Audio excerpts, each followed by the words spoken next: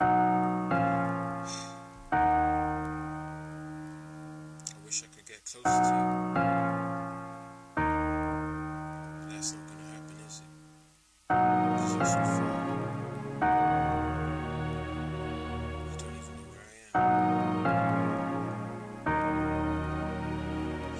Put the pen on the paper, began to write as I thought. Even though the words I was writing were not the rights of my thoughts. Remembered all of those things I did till I was finally caught. A quiet place for me to die was what I eventually sought. Some people said I was heartless, so hard to bone. But I can't help it when I'm trying to find a place of my own. I know I lost a lot of weight in the last couple of years. But fear was always left me still, cause my heart wasn't too clear. So now the truth has set me free. Hopefully it brought me to peace. But how long will it last before I'm trapped in the deep? I can't even breathe, my heart is having a seizure. I need you, baby, I don't wanna leave you. I can remember back when I was just seven years old.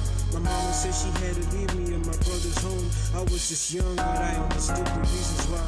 My mama always making sure that we ate every night.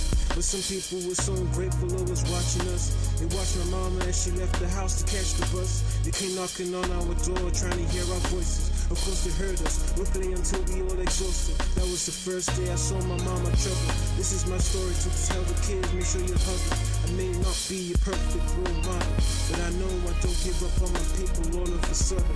Uh. Closer to you. Closer to you.